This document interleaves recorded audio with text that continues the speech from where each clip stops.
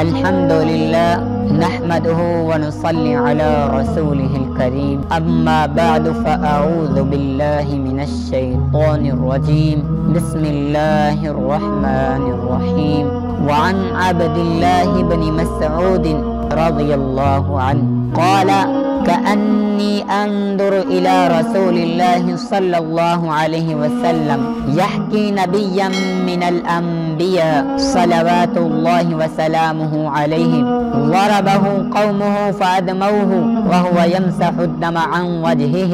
يقول اللهم اغفر لقومي فإنهم لا يعلمون. متفق عليه. حضرت عبداللہ بن مسعود رضی اللہ عنہ بیان فرماتے ہیں کہ اللہ کے رسول صلی اللہ علیہ وسلم ایک انبیاء میں سے کسی نبی کا واقعہ بیان کر رہے تھے۔ کہتے گویا کہ میں آپ کو دیکھ رہا ہوں کہ آپ انبیاء میں سے کسی نبی کا واقعہ بیان کر رہے ہیں، جسے اس کی قوم نے مارا اور لولہان کر دیا۔ اور وہ اپنے چہرے سے خون پونجتا ہوا، اس حال میں اپنے چہرے سے خون پونجتا ہوا کہہ رہا ہے، اللہم مغفر لقومی فإنہم لا يعلمون اے اللہ، میری اس قوم کو معاف کر دے۔ یا اللہ، ان کو پتہ نہیں میں کون ہوں۔ اس لیے کہ یہ لا علم ہے، یہ بے علم ہے، ان کو علم نہیں ہے۔